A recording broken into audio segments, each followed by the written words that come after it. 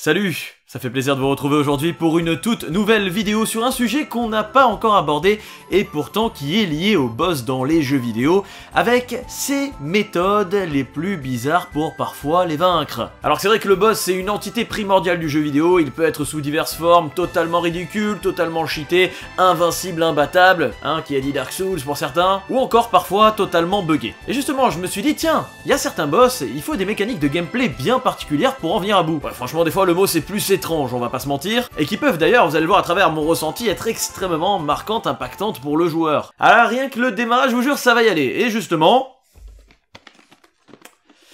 Qui dit Conquerax dit Conquer's Bad Fur Day.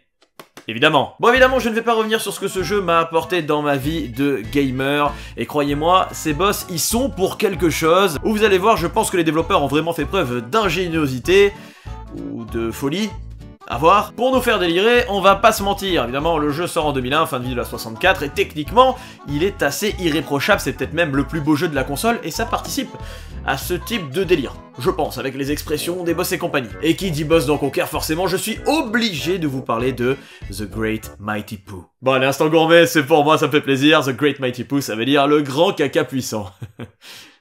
Eh bah ouais, vous allez pouvoir rencontrer ce gros tas de matière fécale dégueulasse lorsque vous rentrez pour la première fois à l'intérieur de la montagne Pou, où vous avez notamment un bousier hein, qui vole droit sur vous et qui vous informe qu'il y a quelque chose qui sent vraiment mauvais dans la montagne. Bon, Conquer, la problématique, c'est qu'il pense qu'à la thune. Vous allez le voir tout au long du jeu. Et dans l'espoir du coup de retrouver cet argent, il va décider de s'aventurer encore plus loin et va entendre au loin la voix, ou du moins ce qui s'apparente l'être, de ce boss, le gros caca. D'ailleurs, ce boss-là va lui ordonner à ce qu'on lui donne à bouffer du maïs doux, sweet corn. Vous allez donc réaliser tous ces souhaits, puisque vous êtes un écureuil un peu crédule, et vous allez donc prendre ce sweet corn et lui balancer, et à un moment donné, regardez ce qui se passe.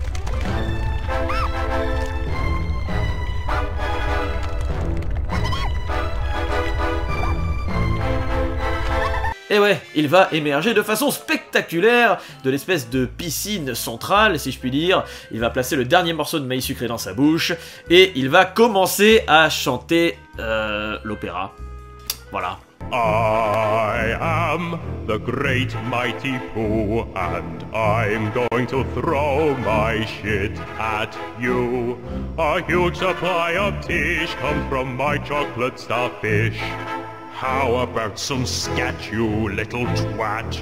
Un tas d'excréments qui chantent tout va bien. Et c'est là que ça va devenir extrêmement intéressant puisqu'il y a une méthode particulière pour en venir à bout. En effet, pour le vaincre, Conquer devra utiliser les trois boutons de contexte sensitive, c'est-à-dire que vous vous mettez sur des plateformes, vous appuyez sur le bouton B et vous pouvez faire des actions qui sont diverses selon le moment, afin de, accrochez-vous bien, ce n'est pas une blague, lui jeter des rouleaux de PQ dans la bouche lorsqu'il est en train de crier pendant qu'il chante. Il ouvrira alors sa gueule dégueulasse en grand, et c'est à ce moment-là qu'il faudra agir. Je pense vraiment que dans toute l'histoire du jeu vidéo, c'est la première fois qu'on voit ça. Bon évidemment ça va se corser un petit peu et il va y avoir trois phases dans ce combat qui vont être délimitées par des cinématiques où le personnage chante de plus en plus vite. Dans la première, tranquille, hein, il ouvre une fois sa bouche et vous lui balancez un rouleau de papier toilette. Il va chanter un petit peu plus rapidement, il faudra lui balancer alors deux rouleaux et pour le vaincre définitivement dans la troisième phase où il est complètement en accéléré, et eh ben là ce sera trois rouleaux afin d'en venir à bout. Et c'est une mort assez dégueulasse dans tous les sens du terme puisque The Great Mighty Boo va crier tellement fort qu'il va péter une vitre avec une chasse d'eau, vous tirez dessus avec Conquer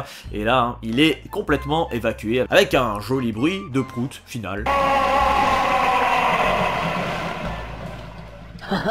Now that's what I call a bowel movement qui conclut bien, je pense, cette bataille de boss. Je pense qu'on est pas mal niveau méthode assez particulière pour le vaincre. Mais ce n'est pas tout, parce que j'avais envie de vous parler d'un deuxième boss qui, moi, m'a marqué. De toute façon, tous dans ce jeu sont assez incroyables. Je pense que je pourrais même faire un épisode que sur les boss de Conquer tellement, et vous me direz dans les commentaires, ça peut être bien sympa, avec celui qu'on va notamment appeler The Big Big Guy, qui est traduit hein, littéralement le grand gros. Alors vous le voyez par vous-même, en fait ce sont deux espèces de flammes qui vous parlent, qui vont incarner une chaudière. La chaudière va alors se mettre à bouger euh, dans tous les sens, c'est assez particulier déjà aussi. Et vous êtes dans la fameuse tour de la chauve-souris à ce moment-là. Et alors pour le vaincre, c'est également une méthode euh, des plus radicales, et ça doit faire extrêmement mal, on se met à la place, enfin Bon, ça va être compliqué quand même, puisque vous devez courir dans l'un des coins en vous tenant sur la petite place. Quand l'espèce de chaudière arrive, vous allez devoir vous assurer qu'elle est au plus proche de vous, dans l'un des coins, où vous pouvez regarder et remarquer des leviers au-dessus de vous. Vous allez ainsi les tirer, et bien il y a une espèce de liquide huileux qui va couler sur le personnage, ou plutôt de caca même, hein, on ne sait pas trop, on n'a pas d'explication. Parce que c'est vrai que Conquer fait toujours dans la finesse évidemment, et ce liquide, je pense que c'est plus de la merde, euh, ça va l'assommer. C'est sûr même. C'est alors que ces parties génitales vont devenir apparentes. Et là, je crois que vous me voyez venir. Il va falloir foncer vers lui, hein. Vous avez une petite idée derrière la tête avec Conquer, le contexte sensitive. Regardez bien ce qu'il se passe, j'en ai mal pour lui.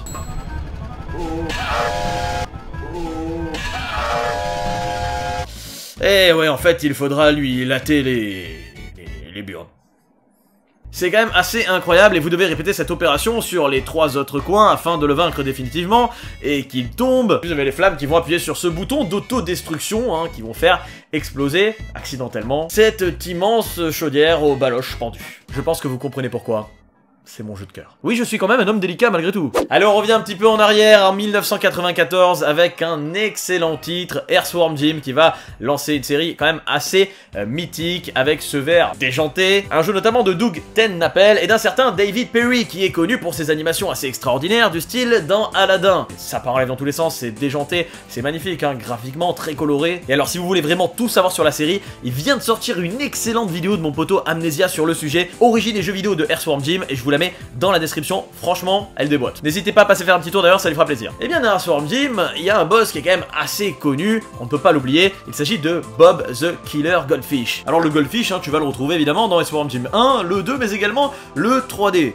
Et alors, euh, la méthode est des plus particulières pour le vaincre, puisque, du moins, dans les deux premiers, il n'y en a pas. Et ouais, quelque part, j'avais envie de l'intégrer dans cette vidéo. Enfin, je vous dis ça justement, ça va dépendre de l'opus. Déjà, dans le premier, eh bien vous comprendrez que le soi-disant terrorisant petit poisson rouge dans son bol en verre fait faire tout le travail par ces espèces de sous-fifres des félins. Et Jim, hein, dans le premier épisode, va simplement faire tomber son bol d'une table, le laisser tomber par terre en sortant du niveau complètement inutile, mais encore pire dans l'épisode 2, où vous allez voir une sorte d'introduction dramatique de Bob, comme si on allait affronter un boss avec un message du style fight.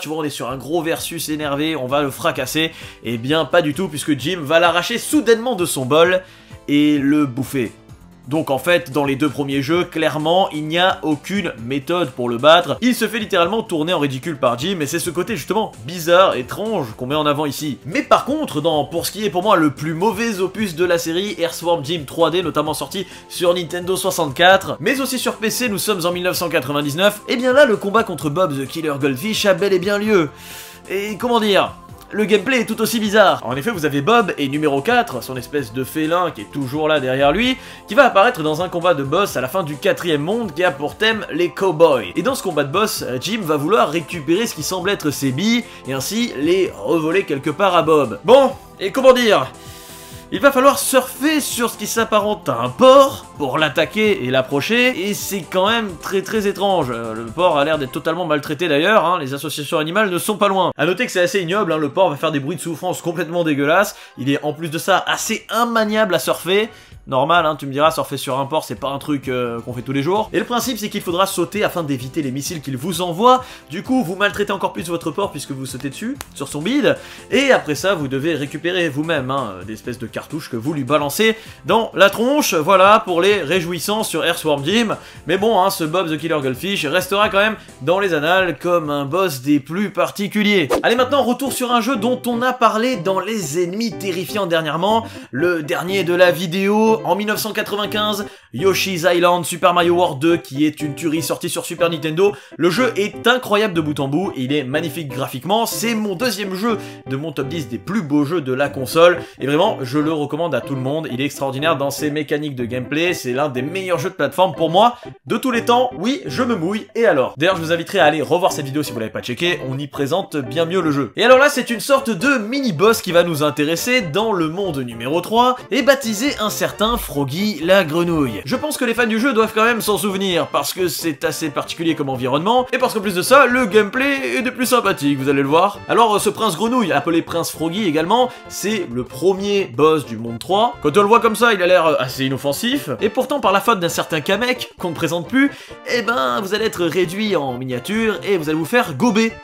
Littéralement. Mais tout entier, tu vois, le Yoshi jeune. En plus de ça, avec bébé Mario sur son dos. Et ben là, hein, une fois que vous êtes dans son corps, c'est là qu'il va falloir agir. En effet, le combat va se dérouler entre Yoshi et sa luette. Ouais, la luette de Froggy, avec une sorte d'acide gastrique dangereux qui va s'écouler du haut et qu'il va falloir éviter. Vous allez ainsi avoir des mascasses également qui tombent dans l'estomac et qui peuvent être transformés en gros œufs. Vous avez compris, je pense, vous devez récupérer les gros œufs et les jeter sur la luette du prince. Après chaque coup, l'estomac deviendra progressivement plus rouge, il va falloir continuer à frapper de ouf, et après un nombre suffisant de coups, l'estomac va prendre des couleurs différentes, attention à la crise d'épilepsie, et lorsque Yoshi s'échappera par les intestins de Froggy, il va revenir à sa taille normale. C'est quand même une méthode assez assez particulière de tirer sur la luette d'un adversaire.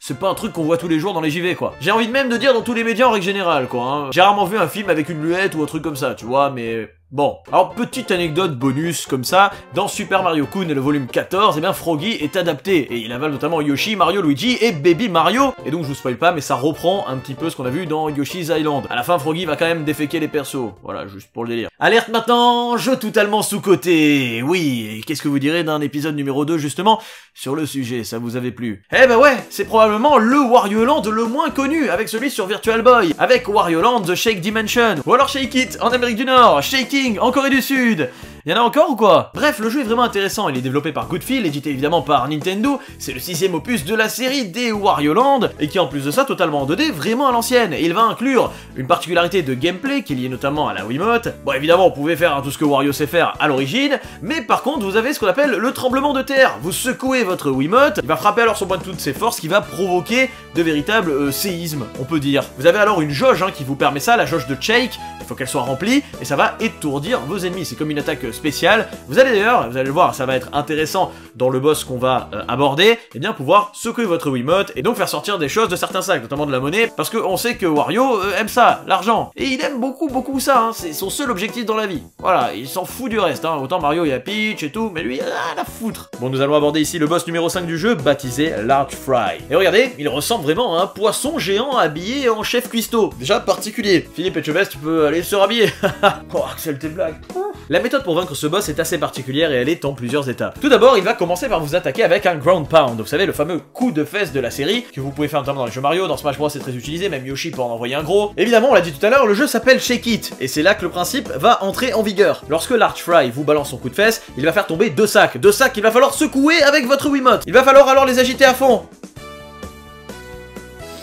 Vous à l'œil, vous. Et à l'intérieur de ces sacs, vous retrouvez notamment des bandineros, des bucaneros, des short fuse, des nose dozers et des recapitators euh, rouges, jaunes, qui sont en fait des ennemis de la série. C'est comme ça qu'ils se prénomment, ne me demandez pas pourquoi. Et donc la deuxième étape, vous allez devoir récupérer l'un d'eux et les balancer. On revient un peu sur le même schéma que sur Conquer the Great Mighty Pooh, dans la bouche du boss. Et à ce moment, la nouvelle étape, ils vont se transformer en bombes. Ces bombes vont vous être très utiles, puisque vous devez relancer la bombe dans la bouche de l'Arch Fry. La bombe va exploser alors à l'intérieur de lui, le faisant tomber au sol, et alors là c'est la quatrième étape, il va être vulnérable aux attaques. C'est ici qu'il va falloir le bastonner.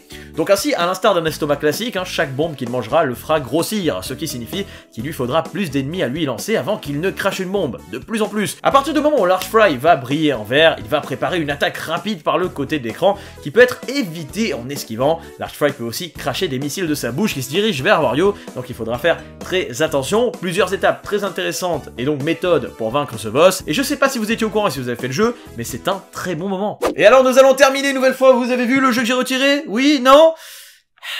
Bah oui, encore lui. MGS3 Snake Eater une bombe, une tuerie Et on en avait parlé dernièrement avec le légendaire boss The End. Et l'une des méthodes un petit peu particulières pour en venir à bout, je précise bien l'une, en avançant la date et l'heure de la console, ce qui vous permettait de le faire vieillir, et donc de ne même pas avoir à l'affronter, sachant que le pauvre The End, il a plus de 100 ans et que c'est le plus grand sniper de sa génération, et que même Snake a envie de l'affronter, c'est vous dire. Et là, vous avez été très nombreux à me dire, mais Axel, tu n'as pas parlé de la méthode bien plus simple pour le vaincre auparavant, même pas besoin de s'embêter, mais qu'est-ce que tu fais? Tu me déçois, qui es-tu? Tu me dégoûtes, Axel. Paye tes refs? Eh ben non, je vous ai pas oublié, en fait je réservais ça pour cette vidéo, hein. les sujets sont quand même un peu écrits en avance, sinon ça aurait été compliqué de tenir la cadence. Pitié, s'il vous plaît En effet, il y a une autre façon de vaincre Zien sans le combattre directement, avec une méthode vraiment hors norme, un truc qu'on ne voit quasi jamais dans les jeux, et pourtant Kojima l'a fait. C'est ce qui rend ce boss encore plus extraordinaire à mes yeux. Accrochez-vous bien, le joueur va pouvoir le sniper immédiatement après sa première apparition à l'entrepôt de Ponizovj, je sais pas si je le dis bien. En effet, il est derrière deux gardes, assis sur son fauteuil. D'ailleurs, il y en a l'un d'entre eux qui le tient. Et on peut l'apercevoir, mais vraiment en tout petit. Faut ouvrir l'œil, je vous le dis. Et surtout, bien le viser, ne pas se rater. Et alors là, vous hésitez pas, hein. vous chargez. Et c'est marrant, le sniper qui se fait lui prendre à son propre jeu. Pour savoir qu'il est mort, eh bien vous allez entendre un espèce de cri du style oh, euh, euh. Et si le joueur réussit à le tuer, l'explosion de sa micro-bombe enverra les roues de son fauteuil roulant vers Snake. Euh, et là, il vaut mieux l'éviter parce que ça vous fracasse, quoi, hein, clairement. Par ailleurs, petit détail, en faisant ça dans la version MGS HD Collection, le joueur se verra décerner des trophées réussites, The Early End et The End. Un trophée bien particulier, et si Snake le tue par cette méthode, Zero et les autres membres de l'équipe de soutien le féliciteront de l'avoir tué, mais Snake va exprimer sa déception, puisqu'il l'a buté d'une manière totalement, selon lui, déloyale, et il espérait qu'il l'affronte réellement au combat. Snake, la classe, le charisme jusqu'au bout et non pas le charisme. Voilà les potes, hein, je suis vraiment ravi de terminer avec ce jeu extraordinaire. Et que dire de celui-ci? Franchement, c'est une série MGS qui a euh, bercé ma tendre enfance. Celui sur PS1, premier épisode en 3D, c'est aussi quelque chose. En tous les cas, j'espère vraiment, sincèrement, que cette vidéo sur les méthodes particulières pour vaincre des boss vous a plu. J'ai pris un plaisir monstre à vous la faire comme toujours, et c'est gorgé de souvenirs pour moi que je vous la propose. Comme toujours, notre plus belle récompense, si ça vous a fait kiffer, eh bien ce serait de vous abonner à la chaîne, c'est un petit clic, c'est gratuit, et d'activer la petite cloche pour ne rien rater des notifications. Vraiment, je compte sur vous. Merci pour la vidéo hein, où je suis dans la forêt et je parle avec vous. Vous avez été super nombreux avec des témoignages, des messages extrêmement touchants. Merci encore une fois à mon Chechounet pour ce magnifique partage qu'il a fait de la chaîne. Vous êtes plus de 200 000. Je ne réalise absolument pas et j'ai tellement hâte de vous rencontrer en convention. Hein, voilà, on va se régaler. Pour être au courant, n'hésitez pas à suivre les réseaux sociaux, Instagram, Twitter, Snapchat, Facebook, mais également la chaîne Twitch qui en ce moment arrive très fort. Ça fait trop plaisir. Vous êtes plus de 3200, bientôt 3300. Merci beaucoup. On est sur PS4. On se régale. C'était Conquerax au rapport. Et comme toujours, avant même de collectionner, jouons à nos jeux et découvrez les plus beaux secrets qu'ils contiennent. Je vous fais des gros bisous. Ciao, ciao.